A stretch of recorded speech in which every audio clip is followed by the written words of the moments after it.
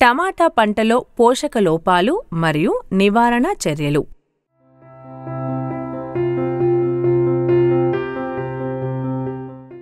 టమాటా పంటలో నత్రజని లోపం కారణంగా ముదురు ఆకులు ముందుగా పసుపు వర్ణంలోకి మారిపోయి తర్వాత లేత ఆకులు లేత ఆకుపచ్చ రంగులోకి మారిపోతాయి. టమాటా పంటలో నత్రజని లోపం నివారణకు సున్నా పాయింట్ ఐదు శాతం యూరియా ద్రావణాన్ని మొక్కలపై పిచికారీ చేయాలి.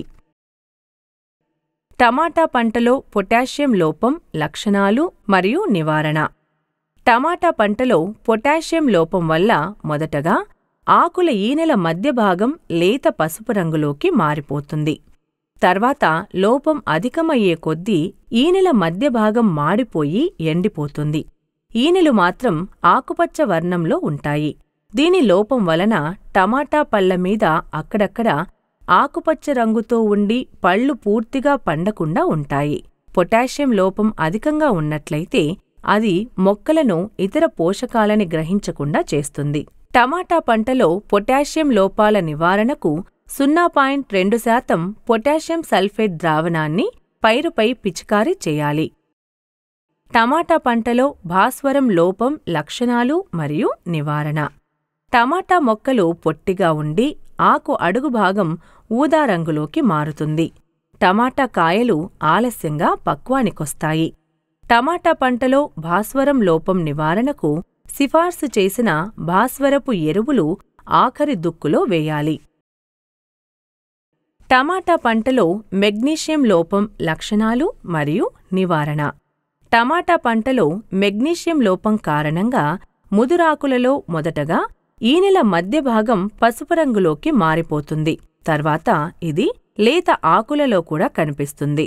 ఆకులలో ప్రధాన ఈని భాగం మాత్రం ఆకుపచ్చ రంగులోనే ఉంటుంది. ఈనెల మధ్య భాగం పసుపు రంగులోకి మారుతుంది. టమాటా పంటలో మెగ్నీషియం లోపం నివారణకు ఒక శాతం మెగ్నీషియం సల్ఫేట్ ద్రావణం మొక్కలపై పిచికారీ చేయాలి. టమాటా పంటలో కాల్షియం లోపం లక్షణాలు మరియు నివారణ.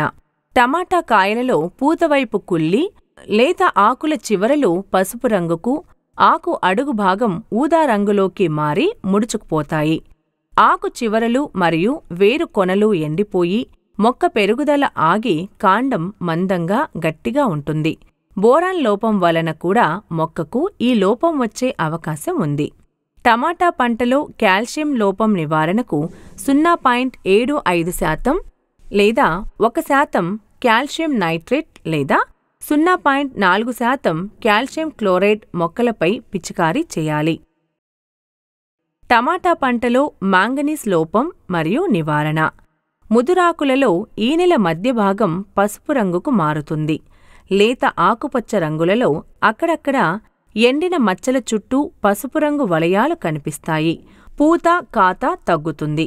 టమాటా పంటలో మాంగనీస్ లోపం నివారణకు ఒక శాతం మాంగనీస్ సల్ఫేట్ ద్రావణం పంటపై పిచికారీ చేయాలి.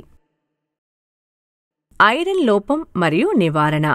టమాటా పంటలో ఐరన్ లోపం కారణంగా టమాటా పంటలో లేత ఆకులలో మొదటగా ఈనెల మధ్య భాగం పసుపు రంగులోకి మారిపోతుంది. ఈనెలు మాత్రం ఆకుపచ్చ వర్ణంలో ఉంటాయి.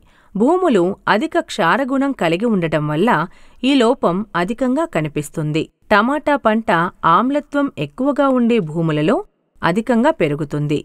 భూమి యొక్క పీహెచ్ అధికంగా ఉన్నప్పుడు మొక్కలలో ఐరన్ పీల్చుకునే సామర్థ్యం తగ్గిపోతుంది. టమాటా పంటలో ఐరన్ లోపం నివారణకు సున్నా పాయింట్ ఐదు శాతం ఐరన్ సల్ఫేట్ ద్రావణం పంటపై పిచికారీ చేయాలి. భూమి యొక్క పీహెచ్ పరీక్ష చేయించిన తర్వాతనే టమాటా పంట వేసుకోవడం ఉత్తమం. టమాటా పంటలో బోరాన్ లోపం మరియు నివారణ. బోరాన్ లోపం కారణంగా టమాటా కాయలో అక్కడక్కడ పగుళ్ళు ఏర్పడతాయి. మొక్క చివరి భాగం వడలి చనిపోతుంది. ఆకులలో ఈనెల మధ్య పసుపు రంగుకు మారి పెలుసుగా ఉంటాయి. బోరాన్ లోపం కాల్షియం లోపానికి దారితీస్తుంది. టమాటా పంటలో బోరాన్ లోపం నివారణకు సున్నా పాయింట్ ఒకటి నుండి సున్నా పాయింట్ రెండు ఐదు శాతం బోరాక్స్ ద్రావణాన్ని మొక్కలపై పిచికారీ చేయాలి. టమాటా పంటలో జింక్ లోపం మరియు నివారణ. టమాటా పంటలో జింక్ లోపం కారణంగా కనువుల మధ్య దూరం తగ్గుతుంది. ఆకులు చిన్నగా ఒక్కోసారి సన్నగా పొడవుగా ఉంటాయి. తొడిమలపై గోధుమ రంగు మచ్చలు ఏర్పడతాయి. టమాటా పంటలో జింక్ లోపం నివారణకు మొక్కలపై సున్నా పాయింట్ ఒకటి నుండి సున్నా పాయింట్ ఐదు శాతం జింక్ సల్ఫేట్ ద్రావణాన్ని పిచికారీ చేయాలి. టమాటా పంటలో గంధకం లోపం మరియు నివారణ.